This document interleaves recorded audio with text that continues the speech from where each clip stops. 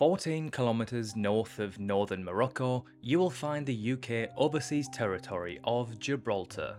Sitting rock bottom of southern Spain, you will find a giant rock, known as the Rock of Gibraltar, the most dominating characteristic of this territory. But why on earth does the UK own this piece of land within the southern Iberian Peninsula, and what is life like there?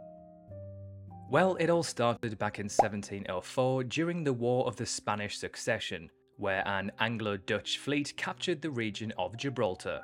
Nine years later, the Spanish officially ceded the region to the British. Today, it has its own government and is self-governing in most aspects, although the UK is responsible for its defence and foreign affairs. The name Gibraltar is actually Arabic and comes from an 8th century military leader named Tariq ibn Ziyad, which then gave Jabal Tariq, which means Mountain of Tariq. You can kind of see where the name Gibraltar came from, from Jabal Tariq. Sort of similar sounding, right? Over the years, Gibraltar has remained a continuous issue between the UK and Spain. Spain asserts a territorial claim over Gibraltar and has occasionally sought its return, but the people of Gibraltar have consistently expressed their desire to remain under British rule. The most recent referendum held in Gibraltar in 2002 showed an overwhelming support to remain British, over 99%. However, during the referendum to vote whether to remain or leave the EU,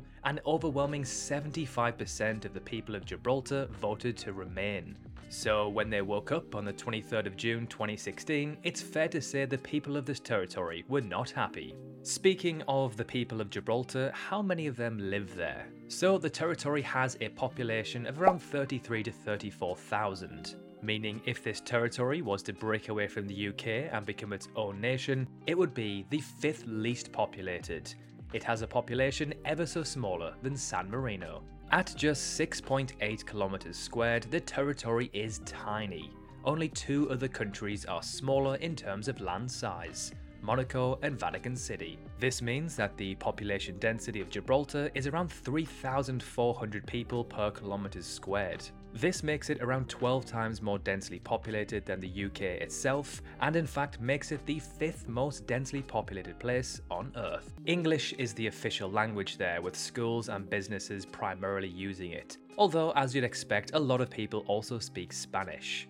Interestingly, some people of Gibraltar also speak Llanito, which is a form of Andalusian Spanish mixed with words from English and other languages such as Maltese, Portuguese and Italian. The GDP of Gibraltar is around 2.4 billion pounds, giving a GDP per capita of around 72,000 pounds, which is actually extremely high and in fact more than double of that of the UK's. However, this data is an estimate so take it with a pinch of salt. Gibraltar actually has its own currency, the Gibraltar Pound or GIP, which is actually pegged to the British Pound, meaning 1 GIP equals 1 Great British Pound. The economy of Gibraltar mainly relies on the services sector with tourism, finance and shipping being important. However, weirdly, online gambling is also a huge part of Gibraltar's economy, where an estimated 25% of its GDP comes from as well as around 3,500 people working within this sector. But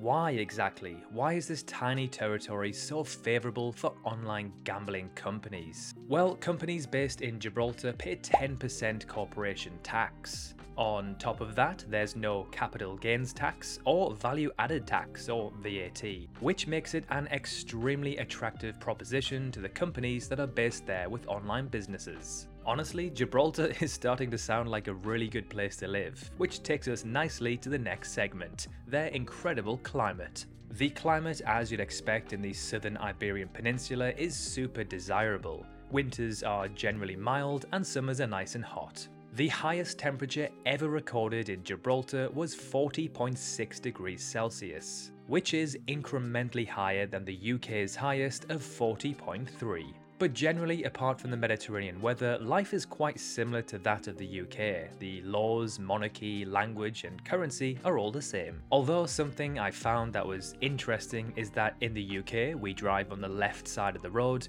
but in Gibraltar they drive on the right. This is probably because it's physically connected to Spain, who drives on the right also.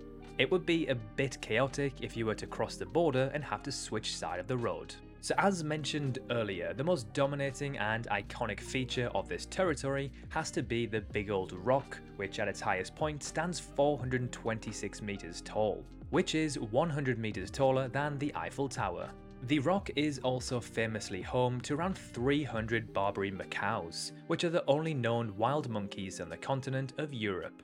The population of macaques in Africa is decreasing due to hunting and deforestation. However, in Gibraltar, their population is actually thriving and increasing, which isn't particularly great news for the locals who have to deal with their antics. But anyways, less monkeys and back to the big old rock, which was formed around 55 million years ago, when the African tectonic plate collided with the European plate. The inside of the rock is crisscrossed by a great and complex system of underground fortifications, known as the Great Siege Tunnels. This network of tunnels was created by the British in 1782 during the Great Siege of Gibraltar by the Spanish. After the siege, the fortifications were rebuilt and are now a tourist attraction.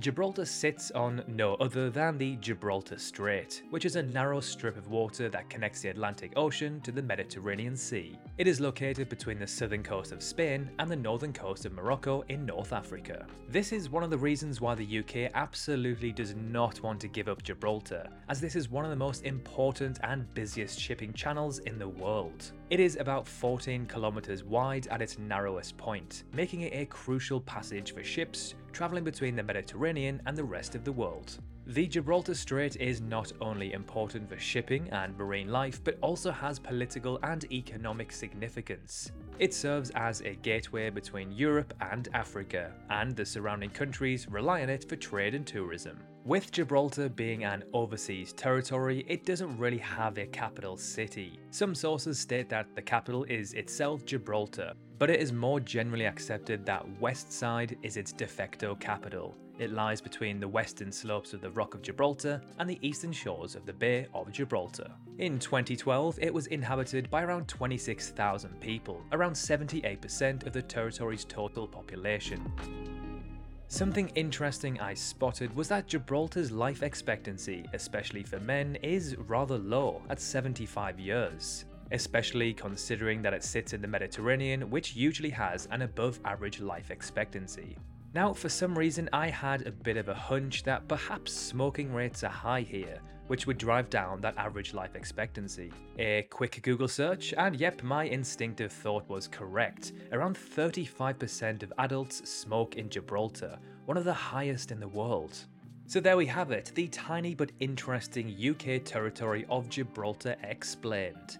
If you love this sort of content, consider dropping a like, and if you love it, consider subscribing, as you can always unsubscribe whenever you like. So thank you very much for watching, and we will see you very soon in our next fascinating video.